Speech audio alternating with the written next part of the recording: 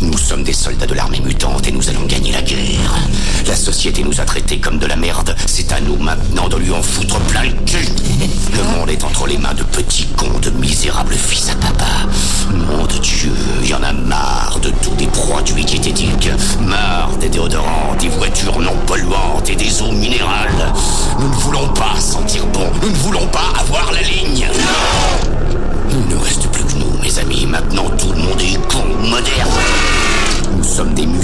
Pas des bites de plagistes ou des pédales de design.